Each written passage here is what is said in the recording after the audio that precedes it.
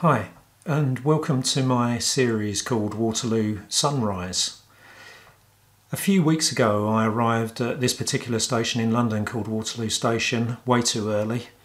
So I decided that um, I'd try an experiment and try and trace my PC connecting to the public Wi Fi service. Once I'd got the trace, I thought this would make a great basis for an introduction to packet analysis. And so what I'm going to do is run through a series of videos just explaining some of the content of the trace that will give just that flavour and that hopefully pique that interest in the whole concept of packet analysis. So let's crack on with this. The first thing is you can download the trace file from the TribeLab website. You do this by signing into the site. And if you don't have an account it's very easy to create one. And as I tell everyone we won't spam you. And uh,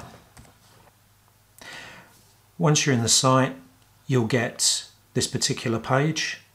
And um, we have lots of different sections in the site. And the section you're interested in is this one network trace analysis. Once you're in that section if you scroll all the way down to the bottom down, down, down, you'll come to this area here, Waterloo Sunrise Worked Examples. So here's the trace file. You can download that, simply click on it and save it into, um, into a directory and away you go. You don't have to have the trace file by the way, you can obviously simply watch the video. Here's the trace file and we have an initial entry which has been received by my PC which is simply a multicast from probably a router checking if uh, my PC wants to join a, a, particular multicast group. So we're going to ignore that one for the moment because what I'm really interested in is this one here, DHCP. So when our PC starts up, uh, obviously it has to obtain an IP address and details of the default gateway and network mask and DHCP, uh, sorry, DNS servers, etc. So that is all obtained using the Dynamic Host Configuration Protocol or DHCP. So I want to filter out just for this DHCP traffic. Now, bearing in mind it's got a protocol label here of DHCP, you would think that we could do that. We could just filter for the uh, term DHCP, but we can't, it doesn't work. What we do notice though is that DHCP is a variant of this protocol called Bootstrap protocol. And if we simply try bootp, that works. That works for us.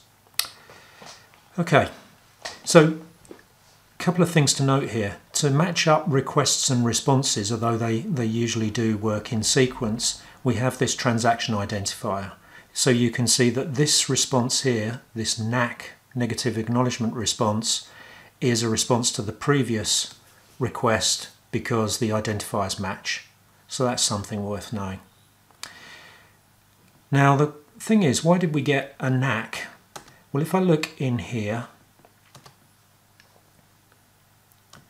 what I find is that uh, it says message type is NAK, and actually it's carrying a message. And what it says is the requested address is not available. So if we go back to look at the request and we come down here, we can see here requested IP address 192.168.0.14.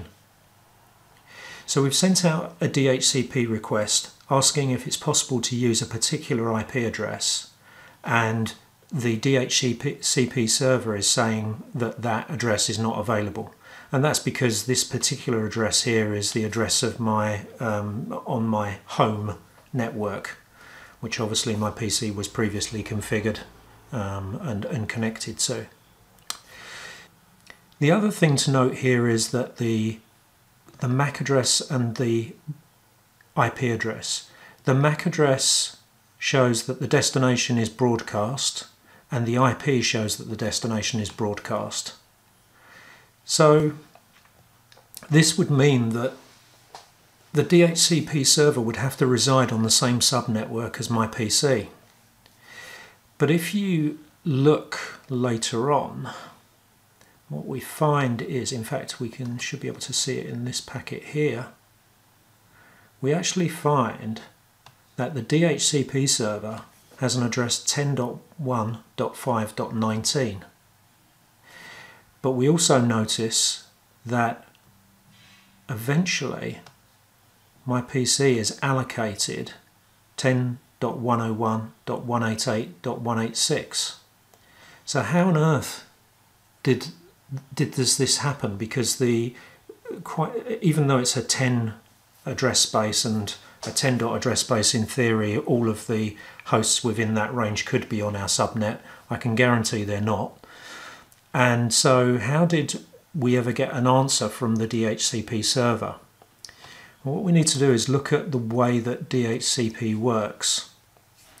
Now it sends out a broadcast from the PC on a subnet and the routers or a router on the subnet will have a configuration which includes a DHCP relay agent. And what that means is that when the router sees a broadcast DHCP request, it will forward it to a DHCP server. So the router has to have a list of DHCP servers to forward to, but one way or another, the request gets forwarded all the way through the network to the DHCP server. The DHCP server looks at the subnet that this particular message has come from, and it can tell that from the relay agent address. And it has a definition uh, described as a scope, and it says for this subnet, I have a, a range of addresses that I can allocate. And so then the DHCP server knows which are the correct addresses to be allocated um, to all of the devices on the same subnet as my PC. So let's look at that in the trace. In the trace what we see is we see the request, we see a negative acknowledgement and the thing to note here is that we can now see the relay agent IP address. So this actually will be the IP address of the router, this router here, as you can see. And we also see the server address where this negative acknowledgement came from. And again, we've filled that in in this diagram. So that's how we see that in the trace. So the PC is asked to use an address. The DHCP server has said no, that's not available. So then the PC uses DHCP discover to try and obtain an address. So the Discover again is going out broadcast, both uh, broadcast on the MAC address and broadcast on the IP address. And then the DHCP server offers us an address to use. So you can see here that it said your client address here and it's already filled in an address that we could use and uh, we can see that this has come from the DHCP server we can see it's come via uh, the relay, the, the agent that we already saw. Here we see it's offering us up a couple of DNS servers as well. So that's useful. That'll enable us to resolve uh, names to addresses. And um, it's offering to lease this information to us for 30 minutes. So there's the PC asking for a usable address. Here's the DHCP server offering an address via the relay agent. We then send a request saying, yes, please, I would like to use that address. Could I go ahead? And the DHCP server comes back and acknowledges that and says, yes, go ahead. You can use that address. And uh, reiterates all the information we saw before. Oh, and it also, you can see it provides us with a subnet mask, which I think it did back here in the offer, didn't it? Yep, so there's the subnet mask. What we also see here is the default gateway setting labelled as the router. So we've pretty much got everything we need. Um, let's move on through these last few packets. Now, there's a puzzling thing here because we're seeing more DHCP requests and yet we believe that we've already completed that part of the whole DHCP sequence. But the thing to notice here is that if we look at a request from my PC, and you notice that the source MAC address is from a, a manufacturer marked as Intel Core. If we look at these requests, you'll see this one is from a Samsung and this one is from an Apple. So because these requests are going out as broadcasts and because my PC was tracing um, everything promiscuously that it that it could actually see. It sees the broadcast from other devices, so we're seeing other devices requesting DHCP um, information allocation. Uh, we don't see the response because that flows unicast, but we do see the requests. So let's go over those two, and here we see that uh, we send out an inform. So a final step of the DHCP process, informing everyone that um, my PC is now using this address and uh, we seem to have all of the other information plus some bits.